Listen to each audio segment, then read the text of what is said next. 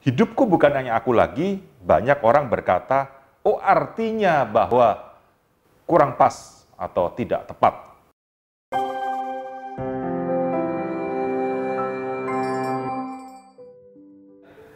Shalom Sobat VOH, bertemu lagi dengan saya di sore hari ini.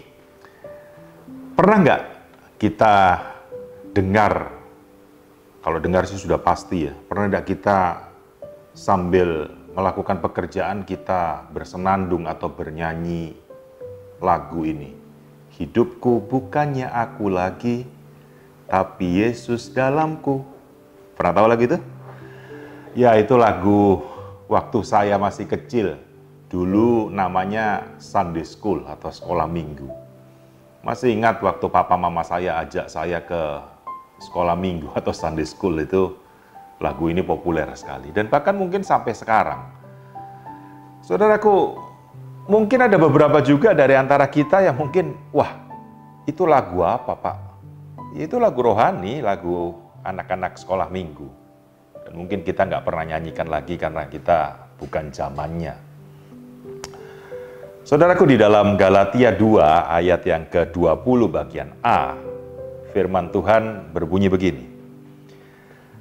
Namun aku hidup tetapi bukan aku lagi.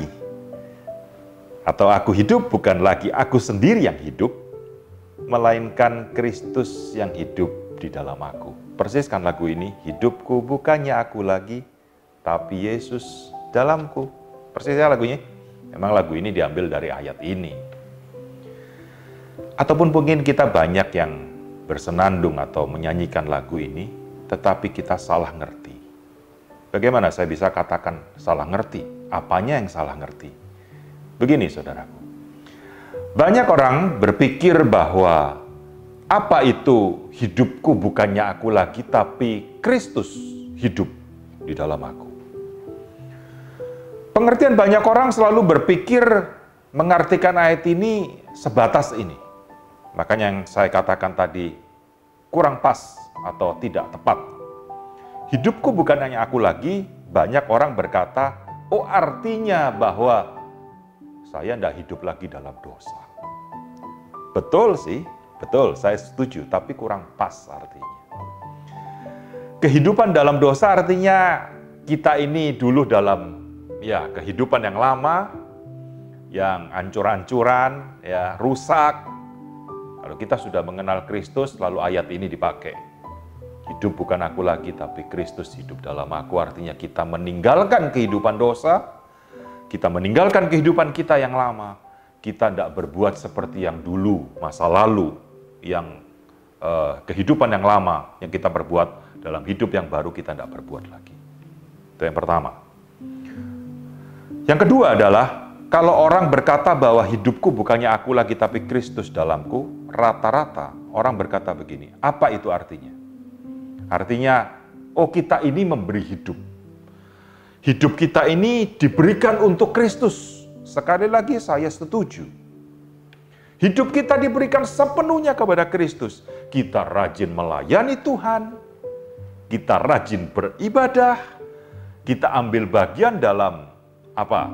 Mungkin pelayanan-pelayanan yang ada di gereja kita masing-masing. Sebagai song leader, sebagai pemain musik atau apalah. Kita melayani Tuhan habis-habisan. Kalau ditanya, kenapa melayani Tuhan habis-habisan? Oh iya Pak, hidupku yang dulu itu hidup milikku. Tetapi sekarang hidupku baru, bukan aku lagi yang hidup, tapi Kristus yang hidup dalam aku. Jadi aku harus melayani. Dua tadi alasannya, saya katakan saya sangat setuju dan bahkan saya melakukan itu. Tetapi kalau saya ditanya apakah pas alasan itu, saya berkata tidak terlalu pas. Walaupun itu betul. Lalu apa yang pas? Saudaraku, arti daripada kalimat ini, perhatikan ayat ini baik-baik.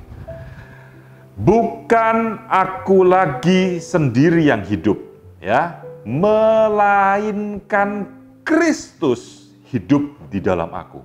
Apa artinya? Bukan sebatas kita meninggalkan kehidupan kita yang lama, Bukan sebatas kita memberi hidup kita sepenuhnya sekarang untuk pelayanan, untuk pekerjaan Tuhan. Tetapi Kristus hidup di dalam aku, itu artinya begini loh. Kalau kita hidup dan Kristus hidup di dalam aku, bukan kehendak kita lagi yang terjadi, tetapi Kristus semata-mata. Pernah kita pikirkan hal itu? Pernah kita renungkan hal itu? Sementara ini kita berpikir apa? Bahwa sementara kita hidup kita berpikir, Tuhan ini mauku, Tuhan ini keinginanku, Tuhan ini apa yang aku kehendaki, Tuhan ini yang apa aku rencanakan, Tuhan ini apa yang aku apa semua, Tuhan ini apa yang aku akan titik titik titik titik. Hidup bersama dengan Kristus atau Kristus hidup bersama di dalam kita itu bukannya kehendakku, rencanaku, mauku, keinginanku, kemauanku. Bukan, saudara. Tetapi hidup Kristus di dalam aku artinya seluruh kehidupan kita bukan menjadi kehendak kita lagi, bukan menjadi keinginan kita lagi, bukan menjadi rencana kita lagi, bukan menjadi kemauan kita lagi, tetapi sekali lagi Kristus itu yang harus terjadi atas kehidupan kita kehendak Kristus, rencana Kristus, apa yang Dia mau, maka itu yang harus terjadi dalam hidup kita. Sehingga kita bisa berkata, hidupku bukannya aku lagi, tetapi Kristus hidup di dalam aku. Nah, biarlah ini menguatkan setiap kita. Biarlah seluruh kehendak Kristus, kemauan Kristus, dan rencana Kristus terjadi dalam kehidupan kita, sehingga lewat hidup kita, nama Kristus selalu dipermuliakan. Kiranya Tuhan Yesus memberkati. Solidio Gloria.